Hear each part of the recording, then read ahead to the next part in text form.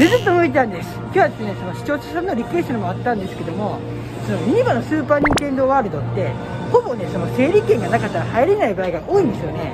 でこの整理券をね取得する方法がその公式アプリを使った e 整理券の方法とその発券機を使った整理券の発行の方法があるんですけどもこの公式アプリの方はですねたまにね不具合が起きるんですよ。不具合が起きて手に入れない時があるんですよね。で今日はですねそのリクエストもあったんですけどもこの発見機でのね整理券の取得の方法をですねちょっとね解説していきます。だから今日はですねその発見機の場所とあとはその発見機で発見する場合の注意点発見するまでの流れをですねちょっとねあの動画にしていきます。でちなみにですね今後もこのの TV ではまたスーパーニンテンドーワールドに関するねまた動画を上げると思うのでぜひねチャンネル登録お願いします。はいじゃあ早速ね行きます。場所ですね。まずこのエントランスからまっすぐ行きます。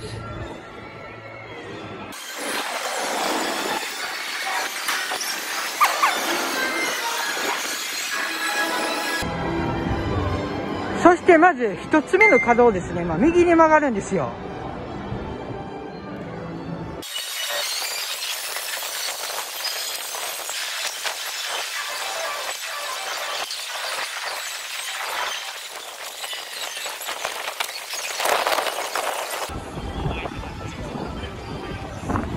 その発見機はですねこのセントラルパークの中にあるんですけども普段でしたらこちらのハリドリの方向からですね、まあ、入ることができるんですけども、まあ、混んでる日は、まあ、そのアミティ側てか上手側に回らないといけないんですよね。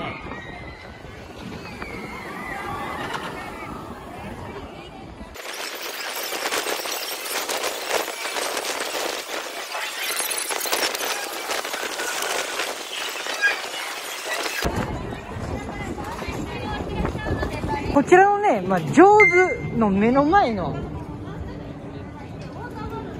こちらのからセントラルパーク入るんですよね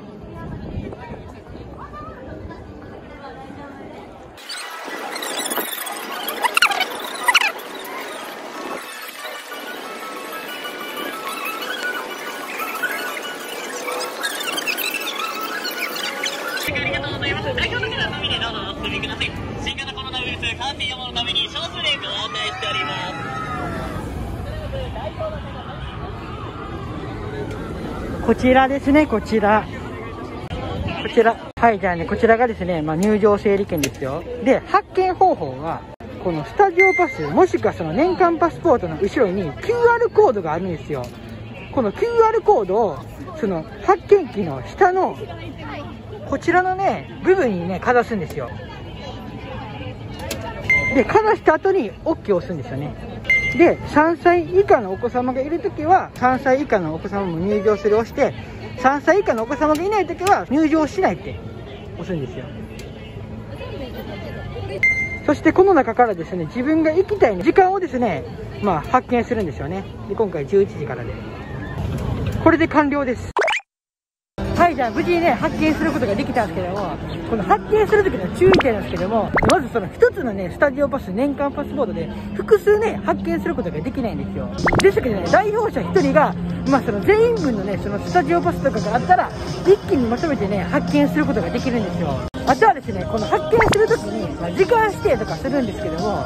まあ、途中でね時間変更することはできないんですよ。であとはですね、まあ、再発行もできないので、なくさないようにすることをですね、まあ、心がけてください。はい、じゃあ今日もですね、スーパーマリオブラザーズがね、スーパーニンテンドーワールドね、今からね、行ってきます。はい、じゃあね、これからもね、まあ、スーパーニンテンドーワールドの動画上げると思うので、チャンネル登録だけだけで通知ボタンを押してあげてあげて、